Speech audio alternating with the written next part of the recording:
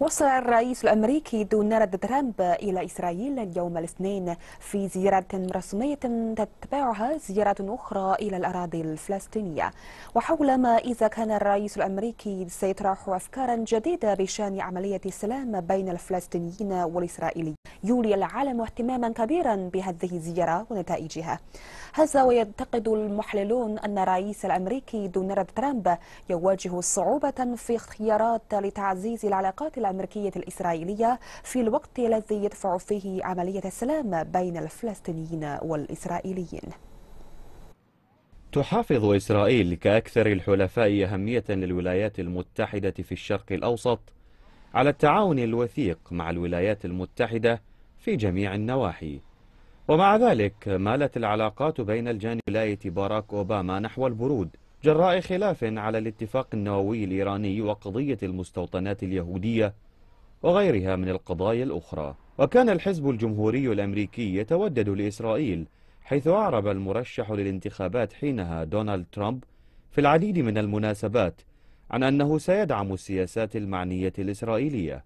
ويعتقد أن زيارة ترامب هي إشارة سياسية لتحسين العلاقات الثنائية فضلا عن التعاون مع إسرائيل بالمعنى التقليدي للكلمة. كان ترامب قد أعرب عن تقرب من إسرائيل خلال الحملة الانتخابية.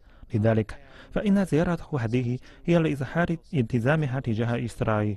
ومن أجل إرضاء الأخبين الأمريكيين الذين يدعمون إسرائيل إن ترامب يدعم إسرائيل. فزيارة ترامب هذه في حد ذاتها دليل فهو على الأقل يفي بوعوده. ومع ذلك تغير موقف ترامب في بعض القضايا بعد توليه منصب الرئاسة. فخلال لقاء ترامب ونتنياهو في فبراير الماضي دعا ترامب علنا إسرائيل إلى ممارسة ضبط النفس بشأن قضية المستوطنات. ويعتقد الخبراء الفلسطينيون أن ترامب يامل في أن يحدث فارقا في دفع عملية السلام بين الفلسطينيين والإسرائيليين. ومع تزايد فهمه للقضية الفلسطينية الإسرائيلية لاحظ ترامب أنه لا بد من الحفاظ على التوازن وإعادة النظر في خططه. إن ترامب قد يكون الآن على دراية كاملة بالتعقيدات السياسية لقضية الشرق الأوسط والقضية الفلسطينية الإسرائيلية وسيعيد النظر في خططه على أساس هذه الظروف. أعتقد أن ترامب لن يتخذ مؤقتا أي إجراءات موضوعية حقيقية حيال حل القضية الفلسطينية الإسرائيلية.